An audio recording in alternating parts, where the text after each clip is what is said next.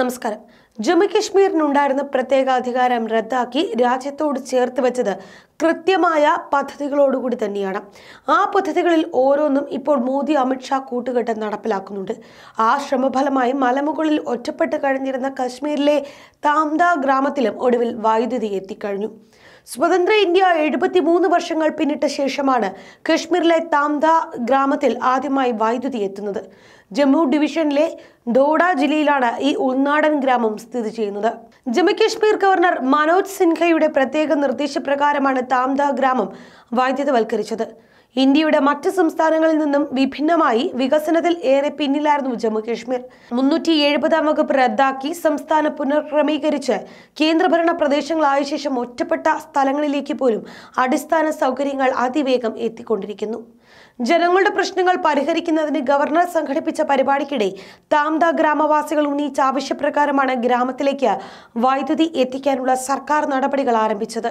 പരിപാടിക്കിടെ ദോഡ ജില്ലാ ഭരണകൂടത്തോട് ഒരു മാസത്തിനുള്ളിൽ ഗ്രാമത്തിൽ വൈദ്യുതി എത്തിക്കാൻ ഗവർണർ ഉത്തരവ് ഇടുകയായിരുന്നു. ഇതോടുകൂടി ദോഡ ജില്ലാ ഭരണകൂടം പത്ത് ദിവസത്തെ റെക്കോർഡ് വേഗത്തിൽ നടപടികളെല്ലാം അതിവേഗം പൂർത്തിയാക്കി മലമുകളിൽ ഒറ്റപ്പെട്ട് കഴിഞ്ഞിരുന്ന ഗ്രാമത്തിലേക്ക് വൈദ്യുതി എത്തിച്ചു. കടുത്ത മഞ്ഞുവീഴ്ചയും പ്രതികൂല കാലാവസ്ഥകളെയും അതിജീവിച്ചാണ് വൈദ്യുതി വിതരണ സംവിധാനങ്ങൾ പൂർത്തിയാക്കിയിരിക്കുന്നത്. രണ്ട് മുതൽ മൂന്ന് അടി വരെ കനത്തിലുള്ള മഞ്ഞിപ്പാളികളിൽ നിന്നുകൊണ്ടായിരുന്നു വൈദ്യുത പോസ്റ്റുകൾ സ്ഥാപിച്ചത്. Jammu power development corporation limited അതായത് J P D C L ഷൽക്ക real estate company എന്നിവരുമായി സഹകരിച്ചാണ് ഗ്രാമത്തിലേക്ക് വൈദ്യുതി എത്തിച്ചിട്ടുള്ളത്. ജില്ലാ വികസന സമിതി കമ്മീഷണർ താംദ ഗ്രാമത്തിൽ എത്തി എൽ ഇ ഡി ബൾബുകൾ തെളിയിച്ചതാണ് ഗ്രാമത്തിൽ വൈദ്യുതി എത്തി എന്ന് ഔദ്യോഗികമായി പ്രഖ്യാപിച്ചത്. ഗ്രാമവാസികൾ വൈദ്യുത വിളക്കുകളെ ഹർഷാരവത്തോടുകൂടിയാണ് വരവേറ്റത്. അതേസമയം ഭീകരവിരുദ്ധ നീക്കത്തിലും ഇന്ത്യ പിന്നോട്ടില്ല എന്ന് ഉറക്കെ പ്രഖ്യാപിക്കുന്നുണ്ട്. വലിയ ഒരു നിരീക്ഷണ വലയത്തിൽ തന്നെയാണ് കശ്മീർ ഇപ്പോൾ ഉള്ളത്.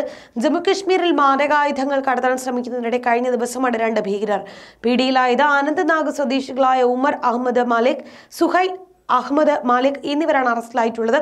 സാംബ ജില്ലയിലെ വിജയ്പൂർ ഗ്രാമത്തിൽ നിന്നും ജമ്മുകശ്മീർ പോലീസാണ് ഇവരെ അറസ്റ്റ് ചെയ്തത്. അന്താരാഷ്ട്ര അതിർത്തി വഴി ആയുധങ്ങൾ കടത്തുന്നതിനിടെയായിരുന്നു ഇരുവരും പോലീസിന്റെ പിടിയിലായത്. ഇവരെ ജീവനോടെ പിടികൂടുകയായിരുന്നു പോലീസ്. ഡ്രോൺ ഉപയോഗിച്ചായിരുന്നു ആയുധം കടത്താനുള്ള ശ്രമം. ഇതിനായി ഉപയോഗിച്ച ഡ്രോണും കടത്താൻ ശ്രമിച്ച മാരകായുധങ്ങളും എല്ലാം പോലീസ് പിടിച്ചെടുത്തിട്ടുമുണ്ട്. അതായത് ഭീകരവിരുദ്ധ നീക്കത്തിൽ ഒരു ഇഞ്ച് പോലും പിന്നോട്ടില്ല എന്ന് ഇന്ത്യ ഉറക്കെ പ്രഖ്യാപിച്ചുകൊണ്ട് തന്നെയാണ് അവിടെയുള്ള വികസന പ്രവർത്തനങ്ങളെല്ലാം ഏറ്റെടുത്ത് വലിയ തോതിൽ നടപ്പിലാക്കുന്നത്.